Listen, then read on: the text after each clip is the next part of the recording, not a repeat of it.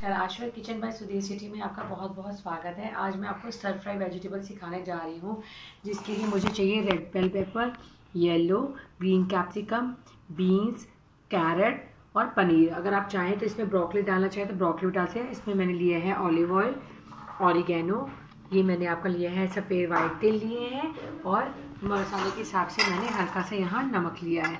मैंने क्या करा है, इसको पहले बीन्स को लंबा लंबा काटा है। मैंने बीन्स और कैरेट को मैंने हल्का सा बॉयल वाटर में करके उसको ब्लांच कर लिया है।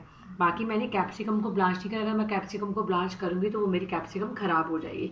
तो ये ऑलरेडी मैंने बॉयल करके रखी हुई वेजिटेबल आइए स्टार्ट करते हैं यहाँ मैंने एक फ्राई पैन ले लिया है, जो कि ऑलरेडी गर्म हो चुका है। उसमें मैं डालूँगी हल्का सा ऑलिव ऑयल आप चाहें तो इसमें रिफाइंड ऑयल भी डालें। जो भी तेल आपके पास है, वो आप हल्का सा मैंने इसमें डाला ऑलिव ऑयल अब क्या करना है? हमने इन सब्जियों को हल्का सा सौते करना है, ज़्यादा नहीं दबाना है हमने।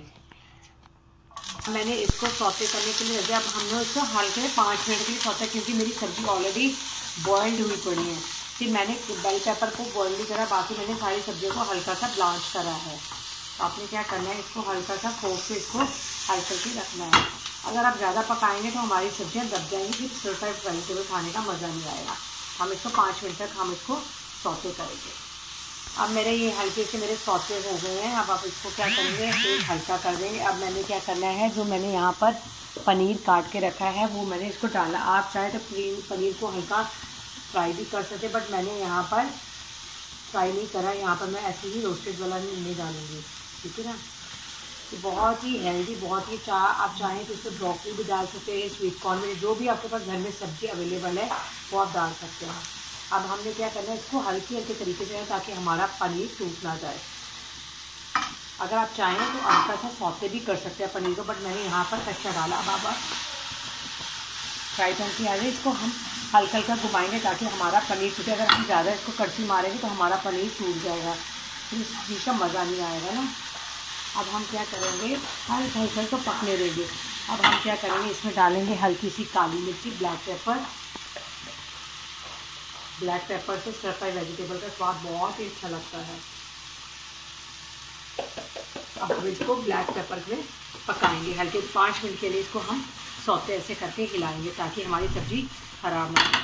पर ध्यान रखें, हमें इनको ज़्यादा नहीं पकाना है, नहीं तो हमारी सब्ज़ी की शक्ल ख़राब हो जाएगी। ये बहुत ही हेल्दी बहुत अगर इन केस आपने अपना वेट लॉस करना हो तो उसके लिए सब्ज़ी बहुत ही अच्छी है वेट लॉस के लिए। ये सौते हो चुका है अब हम इसमें डालेंगे इटालियन सीजनिंग आप चाहें तो इसमें ऑरिजिनल भी डाल दें ये मैंने टेस्ट के लिए डाला है। आपके ऊपर है, अगर आपके पास अवेलेबल है तब डालें, नहीं तो ना डालें। अब उसके बाद मैं डालूँगी हल्का सा नमक। नमक आप इसमें अपने स्वाद के अनुसार डाल सकते हैं।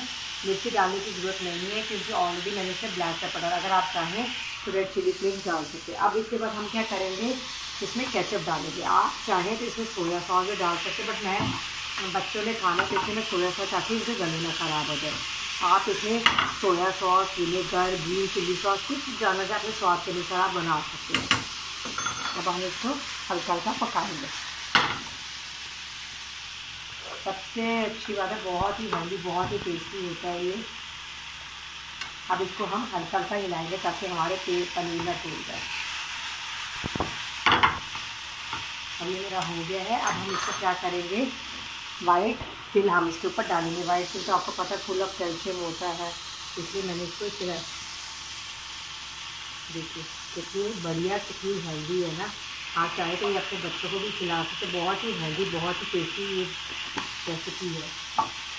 अब क्या करेंगे हम इसको फिर हल्के से, ऐसे से करके हिलाएँगे कोशिश करें आप इसको इसी तरीके से हिलाएँगे तो ठीक है कि अगर आप चम्मच की सहायता लेंगे तो आपका सब्ज़ी पे टूटे का डर होगा। देखिए, कितनी बढ़िया कलर आ रहा है ना।